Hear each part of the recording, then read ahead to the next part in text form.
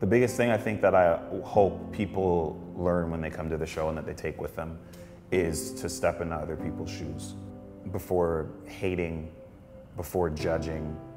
Just take a second to think about where their journey is and what they may have gone through, even when it's not your responsibility to, you know.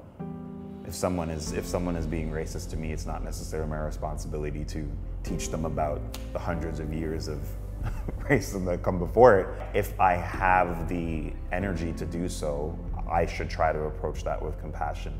The same way that I would hope that someone would approach um, me with compassion if they see me walking down the street with a hoodie on listening to my music, or if they see me driving in my car with hip hop blasting from the, from the windows, just driving on the street.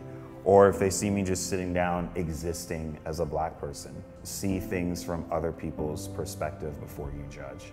Because the minute we begin to do that, I think we'll be we'll, we'll be we'll be starting to take steps to get towards a better place for um, for society.